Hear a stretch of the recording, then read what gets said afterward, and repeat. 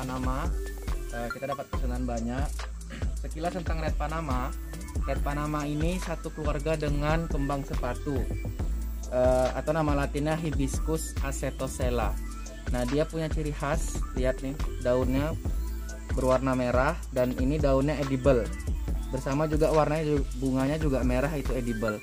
Nah di jurnal yang saya baca daun red Panama ini atau hibiscus acetosella ini dia kaya antioksidan uh, terus untuk pengobatan anemia diabetes sama uh, untuk memperlancar haid gitu. Di beberapa negara uh, daun ini lazim digunakan untuk uh, salad dan untuk sayur gitu. Terus daunnya uh, juga bisa dijadikan selai.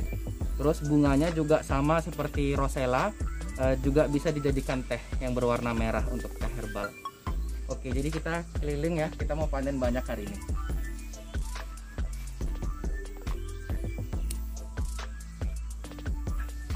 Nah ini teman-teman karena kita potong uh, red panama ini untuk cut foliage atau untuk rangkaian daun ya.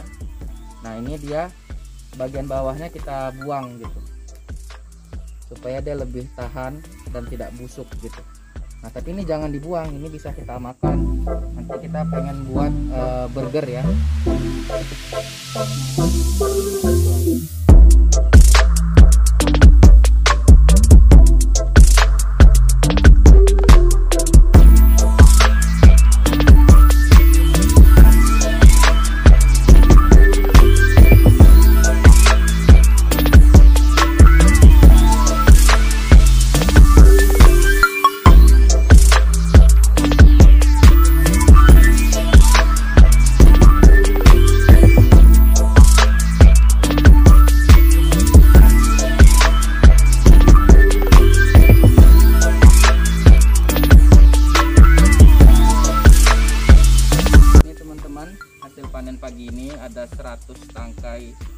Hibiscus cytosella atau kita kenal dengan red panama ya.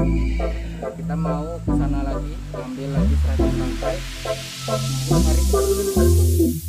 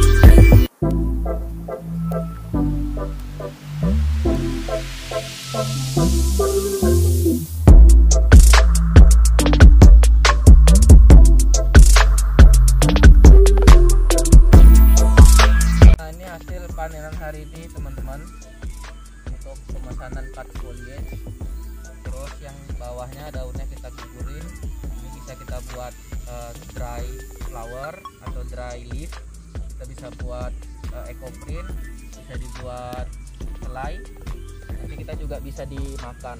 Ini bisa dimakan langsung ya. Tapi teman-teman yang punya yang punya riwayat penyakit e, ginjal itu disarankan untuk tidak makan mentah harus dimasak. Karena dia punya kandungan oksalat asam oksalat. Rasanya asam kayak strawberry. Di luar negeri ini juga disebut dengan uh, sebutan cranberry uh, hibiscus gitu. Karena rasanya mirip-mirip cranberry habis dari sini kita akan panen telur telur ayam. Uh, kita campur sama daunnya red panama. Kita coba buat burger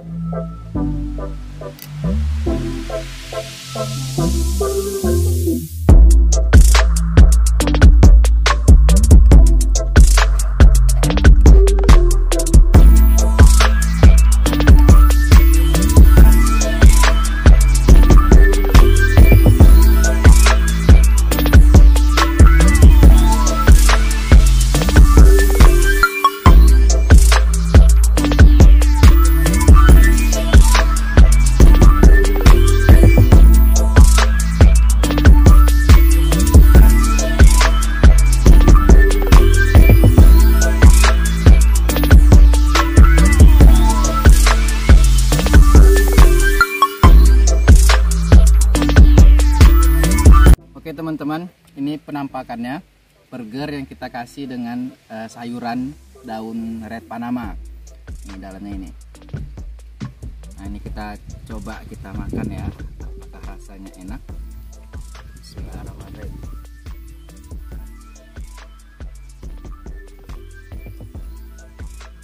Ada sensasi asam terus segar.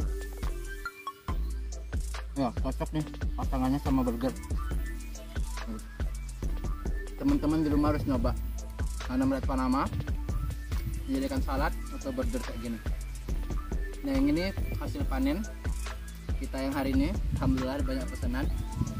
Terus teman-teman yang merasa video kita bermanfaat silahkan like subscribe dan share ke teman-teman biar teman-teman lain tahu manfaat dari Red Panama. Oke okay, see you on next video